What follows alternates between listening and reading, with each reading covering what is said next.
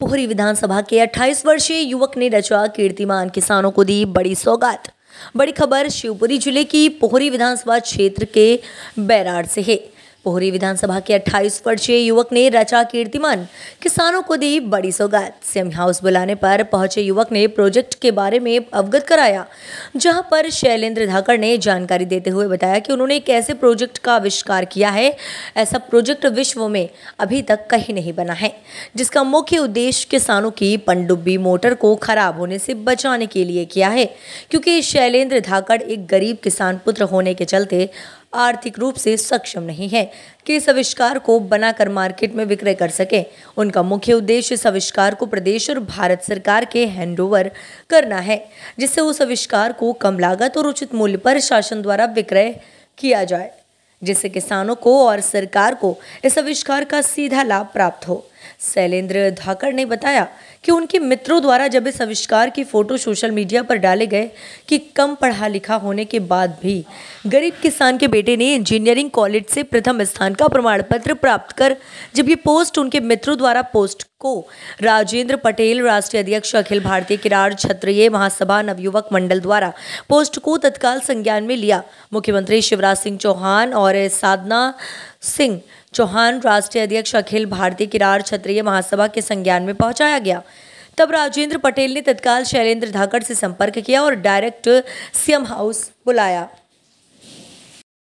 जो, आपने प्रोजेक्ट बनाया है उस विषय में और आपको माननीय मुख्यमंत्री जी द्वारा जो बुलावा आया उस विषय में आप क्या जानकारी देना चाह रहे हैं? किस प्रकार का यह प्रोजेक्ट है और किस प्रकार से आपको बुलाया गया था? उसके विषय में आप क्या बताना चाह रहे हैं?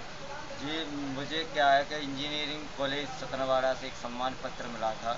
तो इस विषय में मेरे मित्रों ने सोशल साइटों पर इस पत्र को शेयर किया था कि कम पढ़े लिखे होने के बाद भी इंजीनियरिंग कॉलेज ने सम्मान पत्र दिया है। उस पत्र को उस, वह पत्र श्री राजेंद्र पटेल जी, जो नवयुग क्षत्रिय किरार महाक्षत्रिय महासभा के नवयुग मंडल के अध्यक्ष हैं, उनके पोस्ट उनके संज्ञान में पहुँची।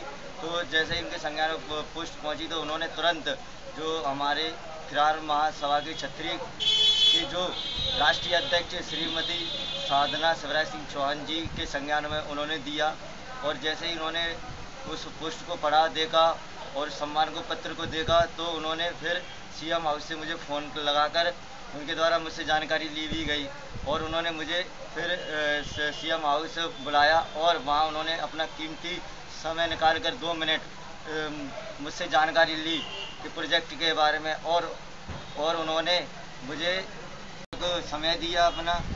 और राजेंद्र पटेल जी को मैं दिल से धन्यवाद देना चाहता हूँ कि मुझ जैसे गरीब किसान के बेटे की एक किसी अनजान पोस्ट से और ना जाने कहाँ से एडजस्ट करके मेरा नंबर लिया और उन्होंने मुझसे संपर्क किया। मेरे बारे में उन्होंने मुझसे सुना, इस प्रोजेक्ट के बारे में उन्होंने जाना। मैं मैं ही उनके बहुत ही बहुत धन्यवाद प्रकट करना चाहता हूँ। मैं एक गरीब किसान का बेटा शैलेंद्र धाकड़ हिम्मतगढ़ तय दिल से धन्यवाद देना चाहता हूँ एवं चरण स्पर्श करता हूँ। माननीय मुख्यमंत्री श्री शिवराज सिंह चौहान और श्रीमती साधना सिंह चौहान जी को और राजेंद्र पटेल जी को, जिन्होंने जिन्होंने मुझ जैसे गरीब बेटे को सुना, समझा और जाना और उन्हें आने वाले उन्होंने मुझे आने वाले समय में सही पूर्ण संयुक्त रूप से